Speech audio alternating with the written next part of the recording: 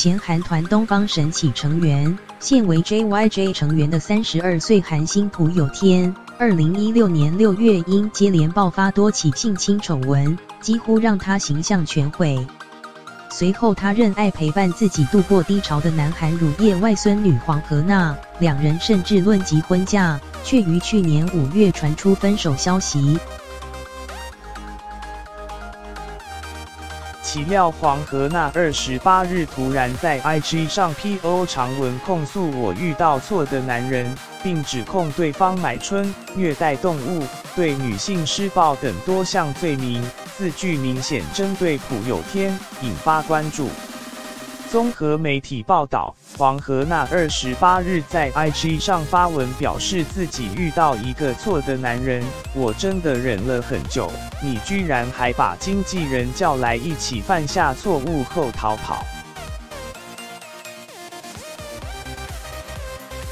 公司和家人联手要把我塑造成加害者，并称这段时间他强制得逞许多没有力气、无法反抗的女性，但我不是。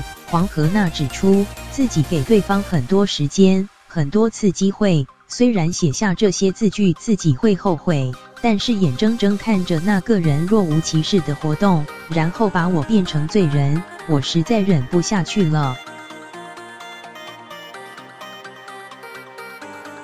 他还表示，我如果必须受罚，我愿意承担，你就一辈子受罚吧。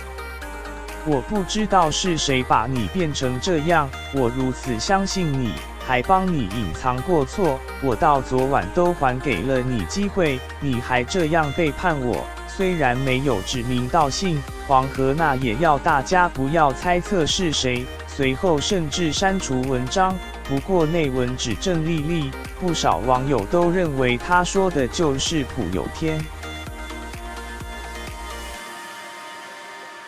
不过，朴有天似乎心情没受到影响。昨天一日，他还在微博上更新近照，并向粉丝表示谢谢你们的支持。